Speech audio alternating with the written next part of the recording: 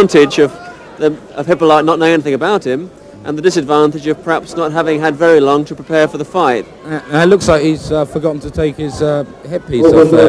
I'm not certain. We've seen some other Muay Thai fights earlier where they've not been doing the ritual dance, the Ram Muay. They may be doing it with this fight. If they're doing it with this fight, he'll have kept it on for that reason. Or he may be keeping on till the last minute to get as much of the good energy as possible from the uh, Buddhist tradition.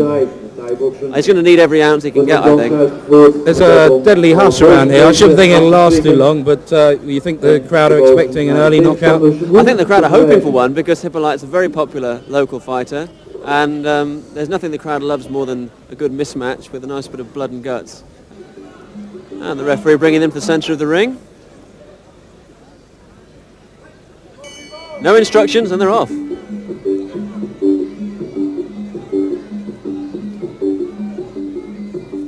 And uh, I think we're seeing a feeling out phase here at the beginning of the first round.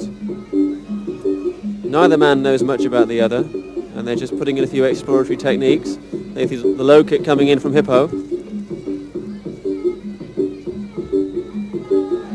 Hippo, yeah, a bit of an unfortunate name that, really. It is really for such a thin and well-built fellow. But I suppose an obvious uh, contraction of Hippolyte. I can tell you, he has got a lovely smile, but uh, you won't be able to see it with his gum shield in. obviously. That's right, yes. Not unless he knocks the other man out. And they really are being very cagey. This is this is normal practice. When you don't know much about the opponent, you don't go out bombing at the beginning of the first round. You're feeling the guy out and seeing what techniques he's got. Can we just go over the rules once again, Bey? Certainly, well, in uh, the Muay Thai fight, which this is, you're practically allowed everything but the kitchen sink. It's easy to say what you're not allowed to do. Under these rules, you're not allowed to elbow or knee to the head, and um, you're not allowed to strike to the groin or to the back, to the spine. Um, other than that, you've got kicks, knees, grappling, elbowing to the body. Um, if the two fighters do get in close and start grappling, the referee will stop them grappling when he feels that the technique is dead, when he feels that there's not a lot happening. It's, a lot of it is down to the referee's discretion as to when to separate the fighters. And a push front kick bouncing off Hippolyte there. He's got very good stance. And he's absorbing a kick on the abdomen. They're very well conditioned towards the uh, middle part of the body, these Thai fighters. They can take an enormous amount of punishment. Because they are receiving full power shots all over the body with knees and elbows as well as the usual hands and feet that we see in uh, some of the other competition formats. Uh, if we were to uh, take a look under uh, Ivan's pink shorts there, we wouldn't see uh, a plastic guard there, would we? No, they have a very uh, a metal one. There's a they, they a very solid guard indeed, and uh, it's very necessary with all the knees that can be flying during these fights. I mean, you can cause serious damage to the groin area with a knee technique. I bet you can. Yes, yes. As Ivan may find out if any of his girlfriends meet each other. Oh, and a slip there from Benasir. He's pushed back towards a neutral corner. Oh, and now I think uh, Hippo has found the range. He was moving there with punching, and now they're in close. And you can see the Frenchman trying to bring in the knee. That's rather an unorthodox hold there. Normally they clinch around the neck. That was actually around the body. Yeah, it looks And I- very passionate, Bey. Yeah, yes indeed, yes. And uh, slow start to this fight. It is, I was thought gonna it would have. I thought it would have sped up by this stage, but I, I think still Hippo is very reluctant to commit himself. Oh, and a nice right hand there. And he's got Banashio backed up in the corner, but he's he seemed very reluctant there too to follow up. Again, I think he's been very cagey in the first round.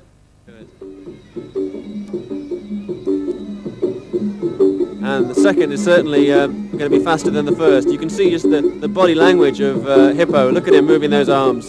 He's really hyped up now. I think he's figured out that the other guy's not going to be much challenge.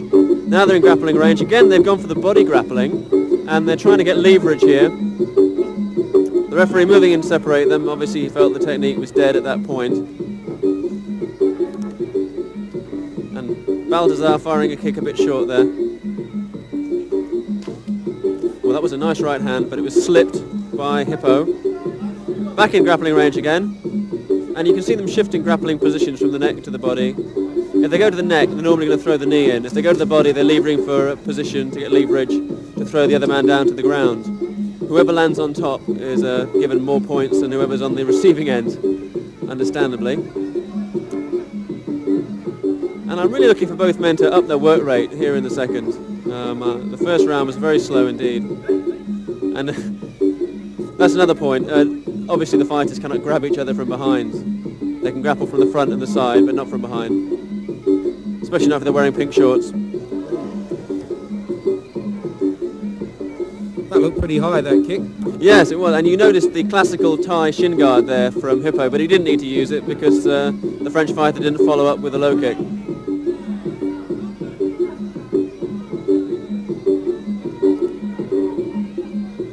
Exactly uh, is the percentage of uh, kicks and punches? Is it somewhere around 80% kicks?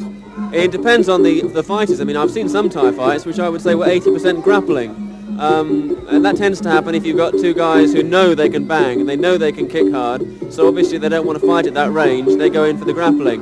Um, but the low kick is used a lot. And uh, what separates the men from the boys in, in, in Muay Thai is how well you can block and counter the low kick, how well you can deliver it, and how you can take it. I mean, you see fights where uh, obviously one of the fighters is not trained in the low kick and it'll never go past the first round because you can take a hell of a lot of punishment to the head and body. But if your legs are gone, then that's it. And um, obviously both of these men are well trained in low kick. Nice. And they're... Um,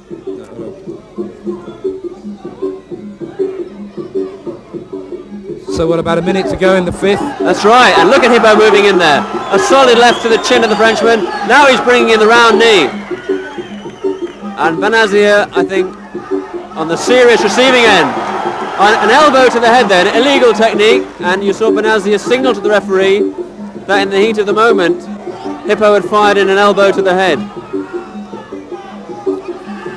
Classical Thai clinching there for the Frenchman, but doesn't seem to have bothered the Dutch fighter much. He's coming in, he's coming in bombing.